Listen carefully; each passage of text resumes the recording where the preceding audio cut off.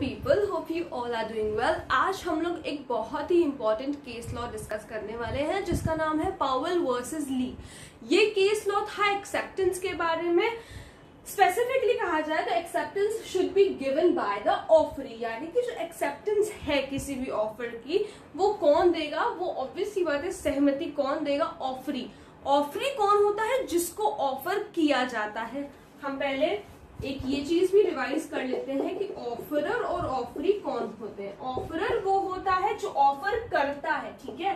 Who gives the offer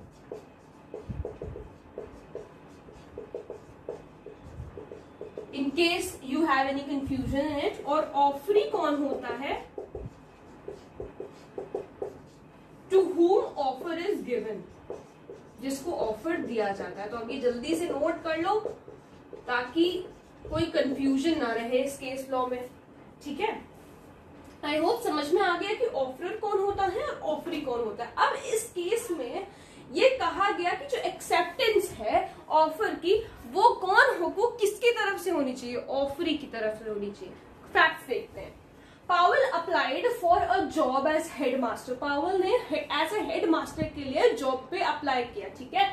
One of the school managers job पे apply किया का ये मतलब है कि उसने इंटरव्यू दिया इन अ सर्टन स्कूल ठीक है?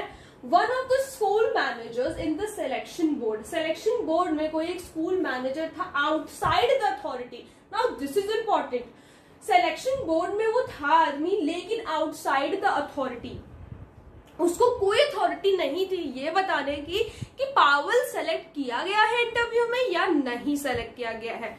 तो मेन जो हमारी बात है वो क्या है कि he was outside the authority ठीक है? He was outside the authority told Powell he was selected उसने क्या किया? उसने बता दिया कि पावल तुम सेलेक्ट हो गए हो। खुश हो जाओ भाई। अब पावल खुश हो गया। बाद में क्या होता है? जो सिलेक्शन बोर्ड थी the board later appointed someone else बाद में जो बोर्ड थी, उसने किसी और को अपॉइंट कर लिया। बताया किसने था? जो कि अथॉरिटी में नहीं था। ठीक है? पावल को बताया किसने था जो कि अथॉरिटी में नहीं था ठीक है? बाद में जब सिलेक्शन बोर्ड ने किसी और को आ, किसी और को अपॉइंट कर लिया तो पावल ने केस ठोक दिया। पावल ने कहा कि अब कि पहले मुझे इन्होंने सेलेक्ट किया उसके बाद इन्होंने ब्रीच ऑफ़ कॉन्ट्रैक्ट करते हुए किसी दूसरे को सेलेक्ट कर लिया। ये इशू था इस केस का कि पहले इन्होंने मुझे सेलेक्ट किया मुझे इन्हीं के एक आदमी ने बताया कि इन्होंने मुझे सेलेक्ट किया है और उसके बाद इन्होंने किसी दूसरे को सेलेक्ट कर लिया मेरी जगह। अब कोर्ट में ये कहा गया कि here the acceptance was not given by the offering कि यहाँ पर जो एक्सेप्टेंस थी, यानी कि जो ऑफ़र तुमने दिया था कि मैं आपके स्कूल में एज अ हेडमास्टर ज्वाइन करना चाहता हूँ, किसको ऑफ़र दिया था? सिलेक्शन बोर्ड को ऑफ़र दिया था। उस सिलेक्शन बोर्ड ने तुमसे नहीं कहा था कि हाँ I accept this offer and you can join as a head master ये किसी दूसरे व्यक्ति ने कहा था जो कि जिसको अथॉरिटी नहीं थी इस बात की कि कौन सेलेक्ट हो रहा है और कौन सेलेक्ट नहीं हो रहा है, ये बता देगी। उस व्यक्ति ने बताया था। तो एक्सेप्टेंस किसको देनी चाहिए थी? ऑफरी को देनी चाहिए थी। एक्सेप्टेंस ऑफरी ने नहीं दी। यानी कि जो बोर्ड था एक्सेप्टेंस उसने नहीं दी थी।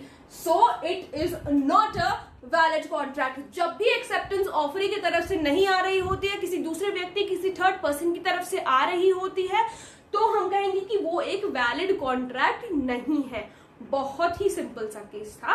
आई होप आप लोगों को समझ में आ गया होगा, जितना सिंपल है, उतना ही ज़्यादा इंपॉर्टेंट है। ठीक है? So it is very important to write case laws also in your examination paper it just it just add some beautification to your answer also ठीक है? और जो आपका एग्जामिनर होता है, जो कॉपीज चेक कर रहा होता है, उससे भी देखने में बहुत ज़्यादा अच्छा लगता है।